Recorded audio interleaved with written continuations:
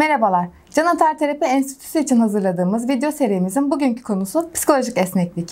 Merhaba hocam. Merhaba Seda.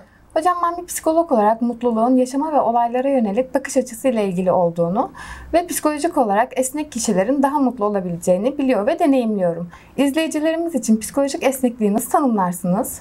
İnsan doğasının temel arayışlarından biri olan mutluluk, yaşamı nasıl algıladığımız ve onu nasıl yapılandırdığımızla ilişkilidir.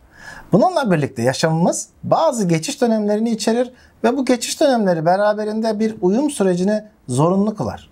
Karşı karşıya kaldığı değişimlere hızlı ve kolay zihinsel uyum gösteren kişiler daha sağlıklı ve mutlu olurlarsa da işte psikolojik esneklik kişinin geçmiş ve geleceğe takılı kalmayıp içinde olduğu an ile temas etmesi ve belirlemiş olduğu değerleri doğrultusunda davranışlar gerçekleştirebilmesidir. Psikolojik esneklik istenen ve istenmeyen deneyimlerin varlığının kabul edilmesine odaklanır. Tıpkı Mevlana'nın Misafirhane şiirinde minnettar ol her gelene, kim gelirse gelsin, her geleni aldığın akıyla misafir et dediği gibi.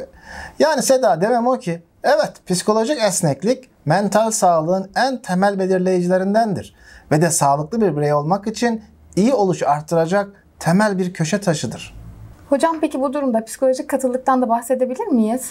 Hayatı bir bütün olarak olumlu ve olumsuz yönleriyle zihinsel ve duygusal olarak kabullenmek kişisel gücümüzü arttıracaktır.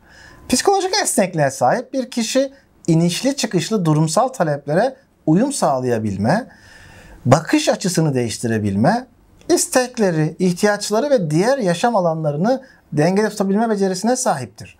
Bu psikolojik esnekliğin tam tersi ise psikolojik katılıktır.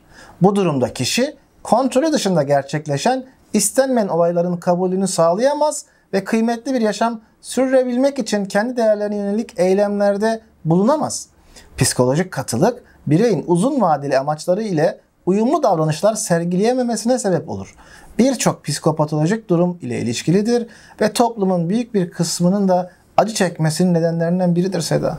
Hocam peki psikolojik esneklik için izleyicilerimize ne önerirsiniz? Psikolojik esneklik yaşanılan anda ortaya çıkan düşüncelerin veya duyguların doğrudan kabulü veya reddi yerine savunmaya geçmeden ve yargılamadan farkında olunması, durumun değerlendirilmesi ve buna bağlı olarak davranışın sürdürülmesi veya değiştirilmesi sürecidir. Oldukça da zorlu bir süreçtir aslına bakarsanız. O bir emek, bir çaba gerektirir. Bunun için de anda kalabilmek gerekir. Anda olmak şimdi ve burada olma halidir. Anda olmak yaşamı otomatik pilot gibi sürdürmek yerine hem dış hem de iç dünya ile temas edebilmektir. Geçmiş ve geleceğe takılı kalmak yerine yaşadığımız an ile kontak kurmaya çalışmak, duygu, düşünce ve davranışlarımızın farkında olmak, çatışmak ya da reddetmek yerine kabullenmek demektir.